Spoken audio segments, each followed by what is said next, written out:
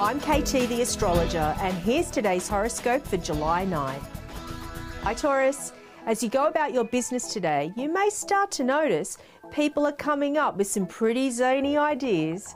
At a business meeting or at home with your family, you might look around at these people you thought you knew so well and wonder what's gotten into them.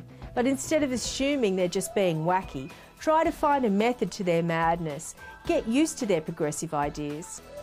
Today's horoscope was brought to you by Date.com. Make a resolution to fall in love this year.